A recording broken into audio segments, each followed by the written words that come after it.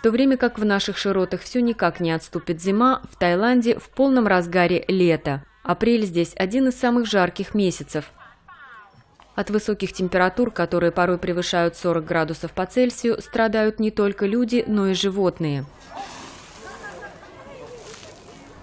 Недавно сотрудники зоопарка Дусит в Бангкоке были вынуждены устроить своим питомцам водные процедуры, чтобы те не получили тепловой удар. Порадовали животных и фруктовым льдом.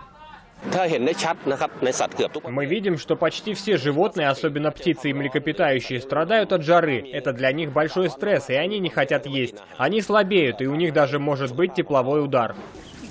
Чтобы обитатели зоопарка чувствовали себя комфортнее, в клетках устанавливают разбрызгиватели и создают затененные уголки. Охладиться и успокоиться животным также помогает специально разработанное меню. Замороженные продукты они будут получать, пока не спадет жара, пока она только усиливается.